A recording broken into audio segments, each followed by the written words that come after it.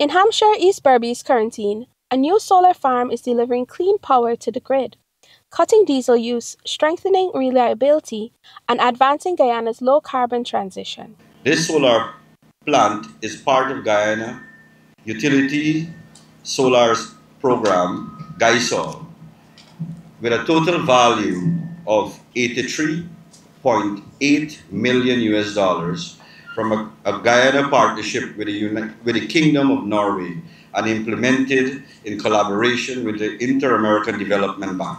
This occasion marks a significant milestone in Guyana's development, advancing our nation's renewable energy goals and delivering tangible benefits to our community. The facility is one of eight solar farms being rolled out nationwide under the GuySol program. Region 6 alone will receive 10 megawatts, across three sites, from Hampshire to Prospect to Trafalgar. President Jagdeo signed with Eric Solheim right here in Guyana, in the rainforest, a historic partnership between Guyana and Norway based on this principle that the climate services provided by Guyana's standing forests should be compensated or remunerated.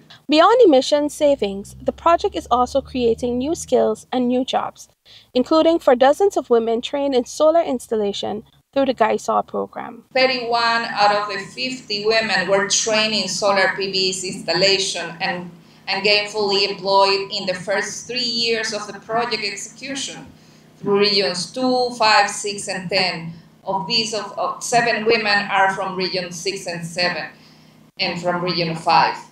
Six persons with disability received training and are already working in GPL. At a time when global leaders are meeting at COP30, Guyana says it is proving that climate leadership is measured in action, not ambition. The commission of this facility sends a clear signal that Guyana is serious about transition to cleaner energy sources. If we do not fix energy how can we fix the climate? With more solar farms set to come online, Guyana says its low carbon future is no longer a vision. It is unfolding on the ground. Daniel Swain for the newsroom in Hampshire, Berbice.